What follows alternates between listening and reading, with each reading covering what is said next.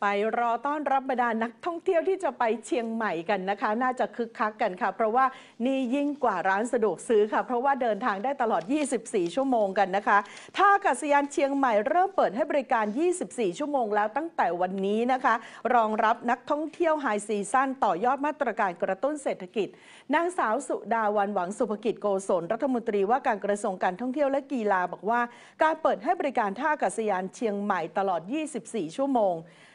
จากเดิมที่เปิด 18 ชั่วโมงต่อวัน จะเพิ่มการรองรับเที่ยวบินเส้นทางระหว่างประเทศที่เดินทางเข้าและออกประเทศไทยหลังเที่ยงคืน ส่งผลให้สายการบินระหว่างประเทศพิจารณาเพิ่มตารางการบิน และเที่ยวบินสู่ประเทศไทย อำนวยความสะดวกในการเดินทางให้กับนักท่องเที่ยว เสริมศักยภาพของจังหวัดเชียงใหม่ ในฐานะจุดหมายปลายทางท่องเที่ยวที่สำคัญของโลก และเป็นศูนย์กลางในการกระจายการท่องเที่ยวออกไปยังจังหวัดอื่น ๆ ในภาคเหนือ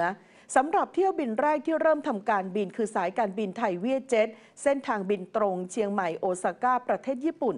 เครื่องบินออกจากท่าอากาศยานเชียงใหม่ หลังเที่ยงคืน คือเวลาศูนย์นาฬิกา30 นาที วันที่ 1 พฤศจิกายน และเดินทางถึงท่าอากาศยานคันไซโอซาก้า เวลา7นาฬิกา50 นาที ตามเวลาท้องถิ่น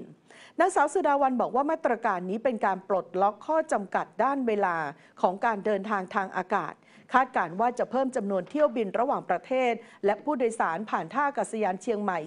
30%ในไตรมาสสุดท้ายของปีนี้ ปัจจุบันท่าอากาศยานเชียงใหม่รองรับจำนวนเที่ยวบินภายในประเทศและระหว่างประเทศ รวม 150 เที่ยวบิน มีผู้โดยสารเฉลี่ย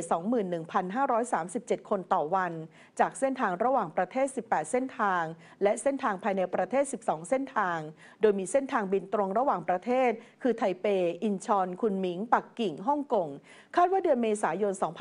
2567 จะเพิ่มเส้นทางบินตรง มุมไบและนิวเดลี รวมถึงมีขีดความสามารถในการรองรับปริมาณผู้โดยสาร8 ล้านคนต่อปี และอยู่ในขั้นตอนการศึกษาและออกแบบโครงการพัฒนาระยะที่ 1 เพื่อให้สามารถรองรับผู้โดยสารเพิ่มขึ้นเป็น 16.5 ล้านคนต่อปีค่ะ